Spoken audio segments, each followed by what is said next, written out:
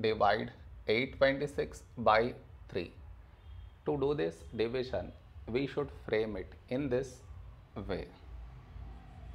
826 here, 3 here. This is your step 1. Next. Here we have 8, here 3.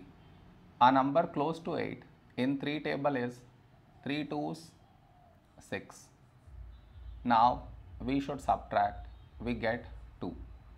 After this, bring down the beside number, so 2 down, so 22. A number close to 22 in 3 table is 3 sevens 21. Now we subtract, we get 1. After this, bring down the beside number, so 6 down, so 16. A number close to 16 in 3 table is 3 fives 15. Now we subtract, we get 1. No more numbers to bring it down, so we stop here. This is our remainder, this is our quotient.